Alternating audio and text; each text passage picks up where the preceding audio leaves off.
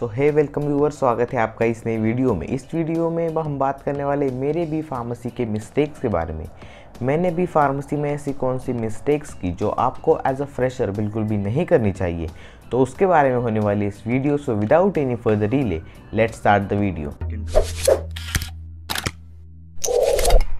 तो अब हम बात करते हैं मेरी भी फार्मेसी के फ़र्स्ट मिस्टेक के बारे में।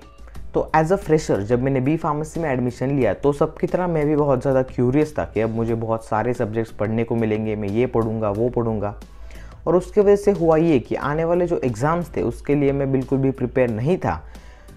तो आपको फ़र्स्ट ईयर में ये ध्यान में रखना है कि आपको कॉन्जिक्यूटिवली बहुत सारे एग्ज़ाम्स देने होंगे। और उस कॉन्जिक्यूटिवली एग्ज़ाम्स देने की वजह से आपको सिर्फ़ अपने मार्क्स पर और आपकी पासिंग पर आपको फोकस करना है। आपको कोई भी ज़्यादा उस टॉपिक में डीप जाने की बिल्कुल भी ज़रूरत नहीं है। जितने आपको मार्क्स उस टॉपिक से रिलेटेड है, सिर्फ़ आपको उसी टॉपिक्स के लिए स्टडी करना है और सिर्फ़ अपने पासिंग पर फोकस करना है।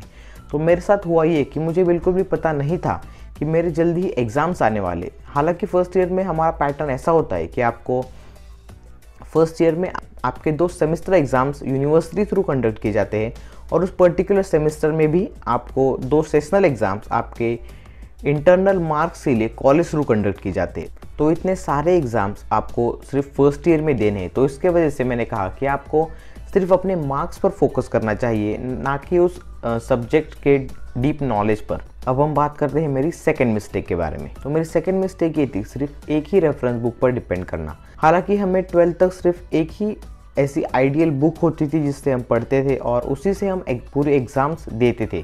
लेकिन ग्रेजुएशन में ये बिल्कुल भी अप्लाई नहीं करता है, क्योंकि ग्रेजुएशन में क्या होता है कि आपको उस सब्जेक्ट की डीप नॉलेज होना बहुत ही ज़्यादा ज़रूरी है। तो इसके वजह से आपको वास्ट वैरायटी ऑफ़ बुक से रेफ़र करनी चाहिए और उससे आपको बहुत ही ज़्यादा वाइड एस्पेक्ट मिलेगा एक पर्टिकुलर सब्जेक्ट को समझने के लिए। तो ये गलती आपको बिल्कुल भी नहीं करनी चाहिए। आपको बहुत सारी बुक्स से बहुत डिफरेंट डिफरेंट ऐसी पब्लिकेशन के बुक्स आपको रेफ़र करने चाहिए, तभी आपको उस पर्टिकुलर सब्जेक्ट की डीप नॉलेज होने में मदद होगी। तो अगर मैं बात करूँ अपनी थर्ड मिस्टेक के बारे में तो वो ये है कि किसी भी पर्टिकुलर टॉपिक के प्रॉपर नोट्स न होना। फ़र्स्ट ईयर में सिर्फ़ स्टूडेंट पर ही नहीं, बल्कि टीचर्स पर भी बहुत ज़्यादा प्रेशर होता है। टीचर्स को वो वास्ट जो सिलेबस है, वो जल्दी से जल्दी कवर करना होता है और स्टूडेंट को भी बहुत सारे एग्ज़ाम्स की प्रिपरेशन करनी होती है। तो हमारे लिए, हर कोई टीचर नोट्स नहीं प्रोवाइड कर पाता तो वो चीज़ हमें समझनी चाहिए और हमें अपने नोट्स खुद ही प्रिपेयर करने चाहिए। और अगर आपके पास नोट्स नहीं है तो हर कोई टीचर आपको नोट्स प्रोवाइड नहीं करेगा। ये बात आपको ध्यान में रखना ज़रूरी है। क्योंकि टीचर जब पढ़ा रहा तभी आपको उस पर्टिकुलर टॉपिक के नोट्स निकाल के रखने हैं और उसका एक, आप एक बुक प्रिपेयर कर सकते हैं। ये गलती मैंने भी की थी कि मैंने बिल्कुल भी नोट्स के ऊपर ध्यान नहीं दी ये गलती आपको में बिल्कुल भी नहीं करनी चाहिए। तो ये थी मेरी बी फार्मेसी के कुछ मिस्टेक्स जो आपको एज अ फ्रेशर बिल्कुल भी नहीं करनी चाहिए। तो बस आज की वीडियो के लिए बस इतना ही। फिर मिलता हूँ मैं आपको एक नए वीडियो में एक नए टॉपिक के साथ। तब तक के लिए keep watching farm boy and finally thanks for watching